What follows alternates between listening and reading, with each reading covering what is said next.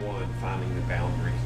And it looks like the helicity is going to be maximized, as is usual, um, just north of the boundary. Now, instability does seem to want to exist north of the boundary, not too far north. I think uh, we were looking at it drops off way off in northeast Nebraska, so the instability axis does extend north of the boundary. That's good. That's what we want. So it's co-located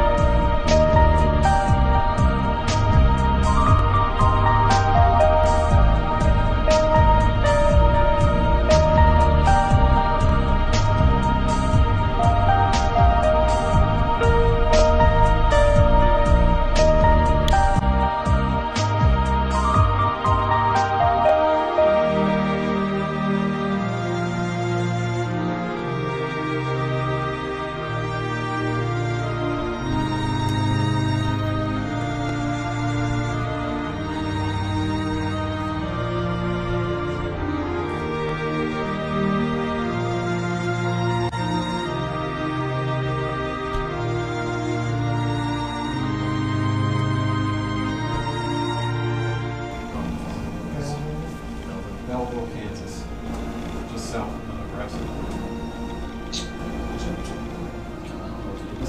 Okay. It's early compared to normal. I think I'm gonna go take a nap. Sit So yeah, um, just please keep the noise down. Make sure the Hokies are appreciated.